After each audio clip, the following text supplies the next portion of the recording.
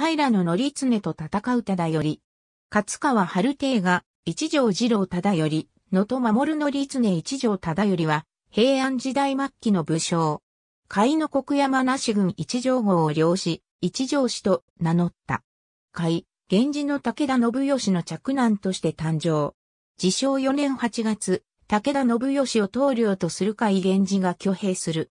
甲斐源氏は隣国である信濃国の兵士家人や駿河国木大を攻撃して勢力を拡大し、10月には兵士が送り込んだ追悼軍を富士川の戦いで撃破して、駿河、東東海国を制圧した。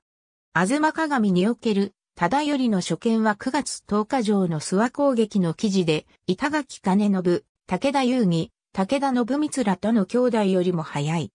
内乱前は任官歴があり、源氏の通技、義を継いだ、遊戯が着流だったと思われるが、内乱期は忠頼が買い、源氏の中心として活躍することになる。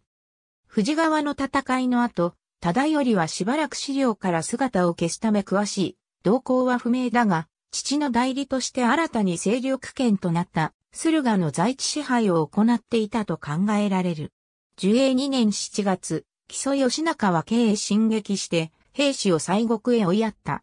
具官省はこの時に東国の武田も入居したとするが、喫期7月30日上の京中守護書省の中に、審議、忠頼不死の名はなく、海源氏は安田義貞のみである。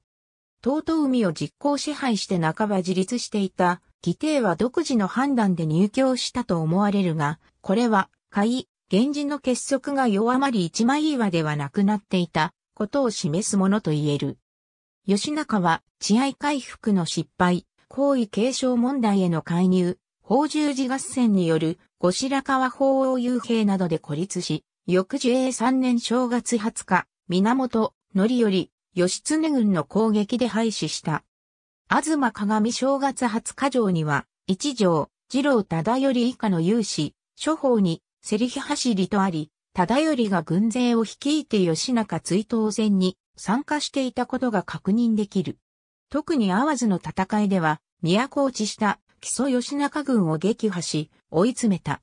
しかし、続く一の谷の戦いでは、安田義貞は、東鏡に、則頼、義経と同格の扱いで記載されているが、忠頼の名はない。京都に泊まって治安維持の役割を担っていたとも考えられる。兵士の八島への撤退により、軍事的脅威はひとまず去り、一部の残留兵力を残して、遠征軍の大半は東国に帰還した。忠頼もこの時に東国に戻ったと思われる。それから間もなくの6月16日、鎌倉に招かれた忠頼は、主演の最中に、頼朝の命を受けた天の円形によって暗殺された。一条氏の家督は、頼朝に協力した弟、武田信光の次男である一条信長が継承した。忠頼は一条号のうち一条小山に館を構え、後に自習寺院の一連寺が創建される。東鏡は、忠頼殺害の理由について、威勢を振るうのあまりに、世を乱る志を挟むと書くだけで、具体的な説明に、乏しく、どうして頼朝が、忠頼殺害に踏み切ったのか判然としない。直前の政治状況を見てみると、吉中滅亡により、鎌倉軍が初めて機内に進出し、京と鎌倉の間では、様々な政治交渉が始まっていた。両者は、兵士追悼という目的では一致していたが、個々の問題では思惑に差があった。朝廷にすれば、樹永2年10月戦時を下したものの、内心ではこれ以上の大幅な権限以上は避けたかったと思われる。交渉の結果、後白河法皇は、平家木官僚を頼朝に与え、3月27日の字目で正四位下に除した。なおこの字目の加盟には、事態の項目に、左衛門の上源これよし、すなわち信濃源氏の大内これよしの名がある。これよしは、遠京本平家物語では吉中追悼戦、東鏡では、一の谷の戦いが初見であり、左衛門の城にいつ任官したか不明だが、朝廷は戦後処理が片付かなければ、人事を行う暇はなかったはずで、頼朝と同じ3月27日の字目で任じられたが、すぐに辞任したという解釈が妥当である。喫記の3月分が残っていないため、字目の詳細は明らかでない。しかし3月27日の字目が頼朝に限定されず吉中追悼に参加した諸将が対象であったとすると、忠頼も任官の境に良くした可能性が高い。その場合、前年に安田義貞が東海守に部任されていることから、受領クラスの任官が想定される。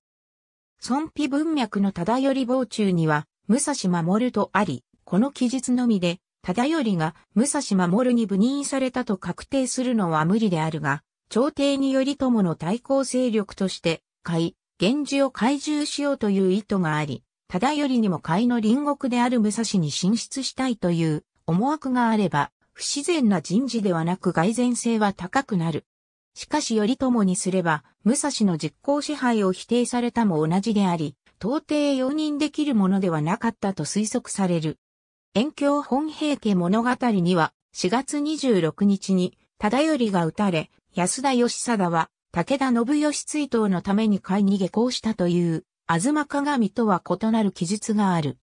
遠京本平家物語の日付に従えば、忠頼の武蔵守部人、忠頼菩薩、源の広津が、平賀義信の駿が守る、武蔵守部人という流れとなり、すべてが一本の線としてつながる。駿河は忠頼が国務を掌握していた国であり、忠頼殺害で、頼朝がその支配権を奪取したことになる。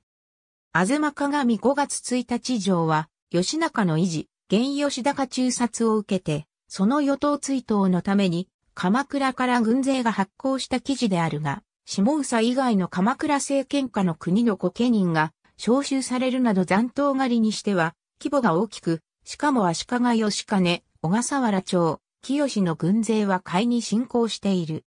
遠京本平家物語にある安田義貞の海下校の記事も合わせると、忠頼謀殺と同時に開始された海源氏制圧のための軍事行動とも考えられる。ありがとうございます。